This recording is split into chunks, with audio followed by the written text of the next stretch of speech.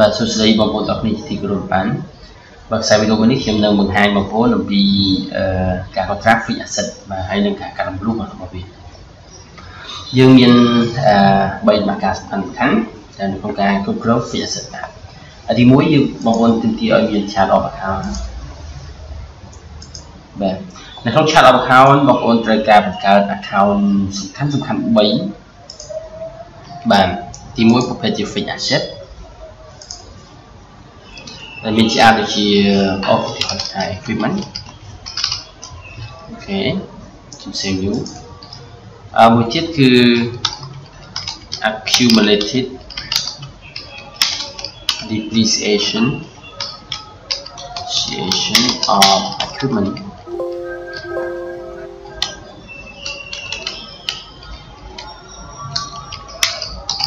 of equipment អូខេបាទហើយន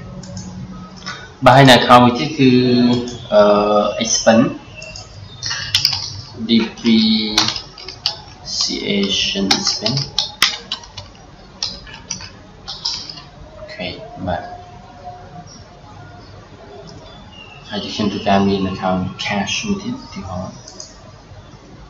អូខេមកទៀតបាទអញ្ចឹង account អឺដែលយើងត្រូវការទីមួយគឺមាន equipment ជា fixed asset accumulated depreciation ជា fixed asset ដែរហើយនឹង depreciation អឺជា expense បាទទី1ទី2បងប្អូនត្រូវបង្កើត fixed asset item list អូខេបាទអញ្ចឹងខ្ញុំយូរមកអញ្ចឹងក្នុង fixed asset item list នេះយើងអាចបញ្ចូលអឺរាល់អឺ fixed asset របស់យើងទាំងអស់បាទនីមួយនីមួយហ្នឹងគឺបញ្ចូលម្ដងម្ដងមួយដើម្បីយើងអាចតាមដានវាបាទឧទាហរណ៍ថាឥឡូវខ្ញុំ control ទៅលើ computer មួយគ្រឿងបាទថា Dell all in one បាទ account របស់វាគឺ account drop បាទ equipment បាទ purchase ជា new ឬក៏ use អញ្ចឹងទៅអាស្រ័យលើយើងបាទ បាទខ្ញុំថា use asset use use there all in one from US តែយើងដាក់ថ្ងៃយើងទិញមកឧទាហរណ៍ថាទិញថ្ងៃនេះផ្ទាល់ឬក៏យើងគិតពីដើមខែក៏បានដែរតម្លៃ8ដុល្លារអូខេ uh, asset description then one from US Capsuloid Capsuloid new ទីហោតែដល់មកហើយយើងសេបើសិនជាយើងមានចង់តាមដាន FC ទីចុចបន្តបាទនេះវាអូខេយើងគូគាត់វាតទៅនឹង all in one វាស្គាល់ Ignore all បាទ អញ្ចឹងគឺបាន fixed asset មួយឈ្មោះថា Dell all in one អញ្ចឹងមកមកហើយបាទនេះដំណាក់កាលទី2ដំណាក់កាលទី3គឺបងប្អូនត្រូវចូលដល់ចូលទៅកំណត់នៅក្នុង fixed asset manager ហើយបងប្អូនទៅចូលតាម company ហើយយកគេថា manage fixed asset បាទអូខេនៅពេលយើងបើកដំបូងវានឹងទីទាឲ្យយើងកំណត់នៅព័ត៌មានមួយចំនួនបាទអញ្ចឹងយើងរើស កំណត់ទៅតាមរបស់យើងមកបាទអញ្ចឹងទីមួយវាសួរមាន transfer prior អឺដំបូងនេះ create new ទី2 transfer from prior year asset អឺ reconnect account នេះហើយបាទអញ្ចឹងយើងយក create new នេះមកអូខេយើងចុច next តោះនេះវាបញ្ជាក់អំពី company របស់យើងហ្នឹងបាទនេះ current year តើតើនឹងឆ្នាំបច្ចុប្បន្ន ហើយយើងថ្ងៃទី1ខែ1ឆ្នាំ2017ហ្នឹងមកហើយចប់ថ្ងៃទី1អឺ31ខែ12 2017យើង add វាមកវានេះអូនៅនៅបាទអានេះអត់ទេយើង current year មកហើយគេចំណេញបាទនេះបើសិនជាបងប្អូនមិនចង់ឲ្យឃើញច្រើនបងអាចអស់ចឹងអូខេយើងប្រើតែបុកនេះមួយបាទអូខេសម្រាប់ការកត់ត្រារបស់យើងឬក៏បងប្អូនចង់ថាមានពីរប្រភេទផ្សេងគ្នា មានការរំលោះតាម straight line ផងការរំលោះតាម double declining ផងយើងធ្វើយកពីរហ្នឹងមកបាទនេះជាប្រភេទដែលយើងត្រូវកាត់រំលោះអាដើមវិញយើងអាចប្រើ straight line ឧទាហរណ៍ straight line method ហើយអាដើមនេះយើងប្រើឧបមាថាប្រើអឺមក125 declining balance អញ្ចឹងទៅបាទ នេះអាស្រ័យយើងកំណត់ប្រភេទ depreciation មកយើងនេះមកនេះតនេះតទៀតអូខេ finish នៅពេលដែលយើង finish វានឹងទាញទំនេរពី quickbook របស់យើងមករាល់ fixed asset ទាំងអស់ដែលយើងបង្កើតជា fixed asset ហ្នឹងវានឹង retrieve data មកអញ្ចឹងវាទាញមកហើយយើងចុច OK មកនេះវាបានយើងថាយើង update ព័ត៌មានពីហ្នឹងវាមាន use tell all in one from UI បាទនេះយើងបានអូខេយើងបាច់ថតទៀតបាទចឹងយើងបានព័ត៌មានវាប៉ុណ្ណេះមកនៅក្នុងតារាងនេះយើងមានបងប្អូនមើលខាងក្រោមនេះប្រភេទដែលយើងកំណត់ depreciation ផ្សេងៗគ្នានេះ convert ថាបាទអានេះ book ដែលយើងកំណត់បាទវានឹងកាត់រំលោះតាម straight line basis អូខេ ហើយនឹងមួយទៀតគឺយើងប្រើតាម declining balance តែបាទឥឡូវយើងមើលព័ត៌មានវាមាន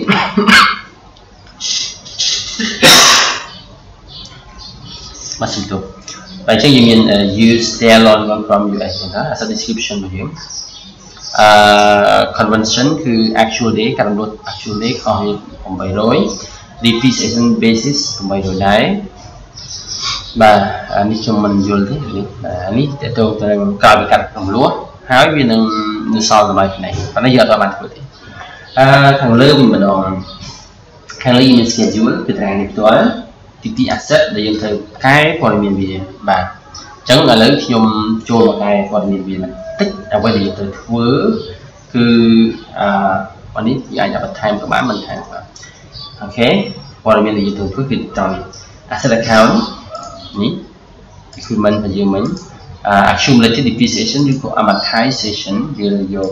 account amortize uh, accumulated depreciation of equipment ត្រង់ depreciation ឬក៏ amortize spend យើងយកអានេះនេះ depreciation spend យើងរើសបីយ៉ាងមក just ទៅទៅ okay ជាងយើងទី scroll មកក្រោមខាងក្រៅមាន click v location នេះហ្នឹងយើងមិនបាច់ច្បាស់បន្តមកទៀតបងប្អូនចូលមកពិនិត្យនៅក្នុងតារាខាងក្រៅយើងមាន book អូខេបាទអញ្ចឹងយើងអាចរើសនៅក្នុងនេះបានដូចជាវិធីសាស្ត្រនៃការកាត់រំលោះយើងអាចរើសសាថ្មីអឺរយៈពេលនៃការកាត់រំលោះបាទជាទូទៅវាកំណត់5ឆ្នាំយើងអាចដូរលើនេះបាទឧទាហរណ៍យើងថា3ឆ្នាំអូខេហើយនេះក៏ឧទាហរណ៍ថា3ឆ្នាំដែរ អឺហឺអូខេចឹងខាងក្រោមនេះវានឹងគណនាយើងមកអូខេ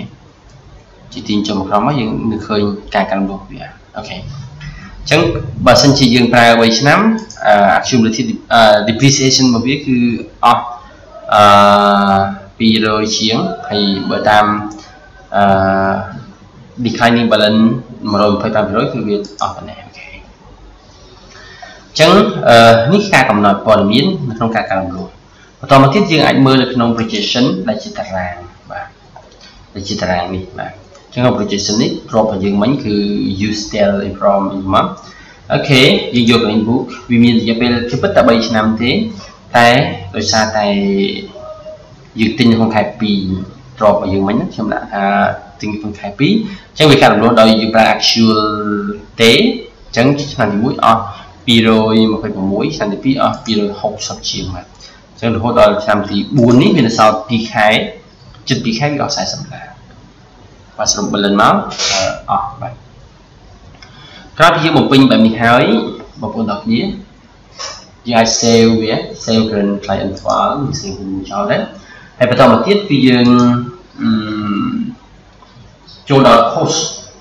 អឺ general journal entry to quickbook បាទវានឹងបញ្ចូលការកាត់លុយយើងបាទ ប៉ុន្តែយើងត្រូវបញ្ចូល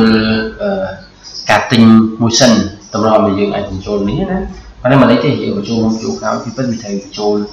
ការទិញមុនបន្ទាប់ពីទិញហើយបើយើងអាចធ្វើការកាត់នោះឥឡូវខ្ញុំឧទាហរណ៍ការ post journal entry to quickbook បាទវានឹងត្រូវកត់ថា debit គឺ depreciation expense ដំបូងនេះ226នេះហើយ credit គឺ accumulated depreciation បាទអញ្ចឹងយើងមើលអស់គ្នា សំទោសបាទអូខេអញ្ចឹងបន្តមកទៀតយើង depreciation through បាទយើងរើសមកនេះរហូតដល់ខែ2ឧបមា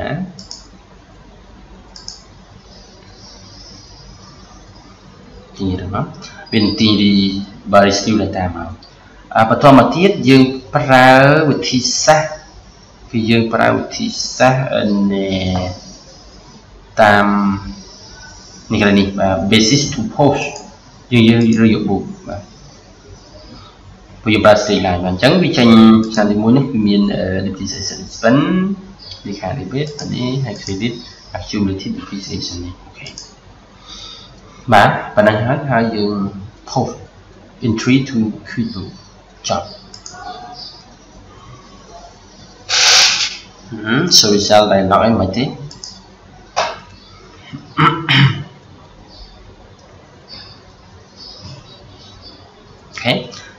ចឹងវានឹងចូលទៅក្នុង Facebook ហើយខ្ញុំអាចបិទអានេះចោលបានយើងឲ្យ minimize វាសិនមក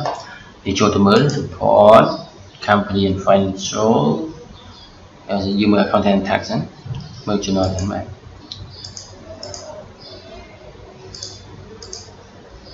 បាទវាកត់ឲ្យបងប្អូនទាំងអស់គ្នាគឺបែបនេះឃើញទេអូខេ debit គឺ depreciation expense credit accumulated depreciation ទៅលើ computer ហ្នឹងបាទអូខេឥឡូវឧទាហរណ៍ថាបើសិនជាយើងបញ្ចូលអាការទិញទ្រព្យនេះខ្ញុំបញ្ចូលតាម vendor ជួយពីឧទាហរណ៍បងប្អូនទាំងនេះអឺខ្ញុំអាច new vendor មួយមកថា other ខ្ញុំទិញ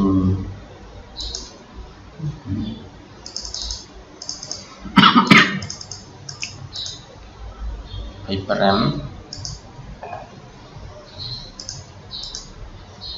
treatment 800ការ computer សេងបាទ decorate ជាបាទនេះបងប្អូនទៅមើលក្នុង report company and financial ហើយ balance sheet standard អូ យក on អូខេបងប្អូនដល់ថ្ងៃនេះវានឹងឃើញមាន equipment តែប៉ុន្តែ accumulate វាត្រូវនៅក្រោម equipment បាទវាត្រូវដកជាមួយនេះអូខេបាទអញ្ចឹងអរគុណច្រើនសម្រាប់ការតាមដានទស្សនាបងប្អូនសង្ឃឹមថាវាជាប្រយោជន៍ដល់បងប្អូនសម្រាប់ធ្វើការបត្រានិងគ្រប់គ្រងទ្រព្យរយៈពេលវែងនៅក្នុងកម្មវិធី Facebook បាទអញ្ចឹងខ្ញុំសូមអរគុណសូមជម្រាបលា